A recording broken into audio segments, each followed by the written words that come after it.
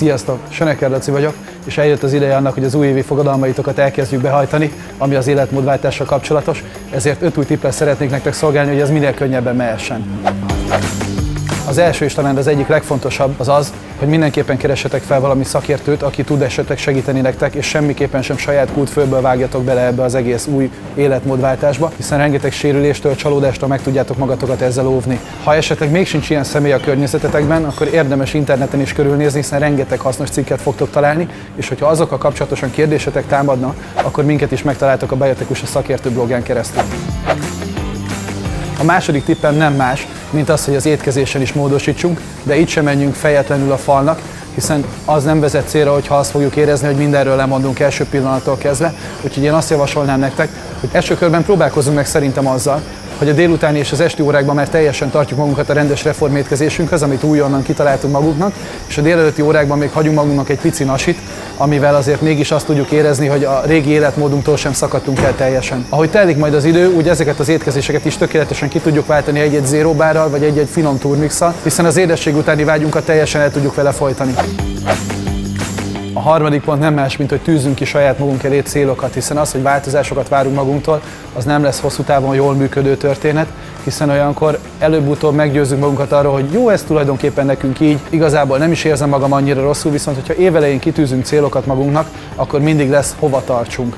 Nagyon fontos az, hogy ne csak hosszú távú céljaink legyenek, hanem legyenek rövidek is, hiszen ebből tudunk táplálkozni, ebből tudunk erőt meríteni, és nem csak azt látjuk, hogy még mennyire messze van a hosszú távú célunk, hanem a rövid távúakkal folyamatosan sikereket tudunk elérni. Olyan feladatok elé állítsuk magunkat, amik teljesen reálisak lehetnek, így nem fognak csalódások érni. Persze kellenek a nagy álmok, hiszen csak akkor tudjuk elérni a kisebb céljainkat, hogyha elég magasra tesszük a mércét.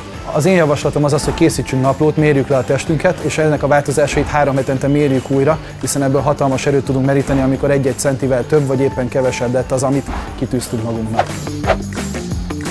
A negyedik pontom ugyanúgy a célokhoz tartozik.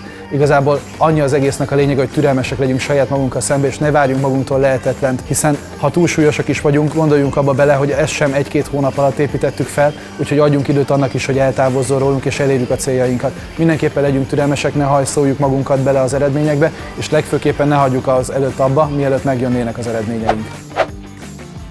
Az ötödik és egyben záró pontom, az pedig a táplálékkiegészítők szükségessége.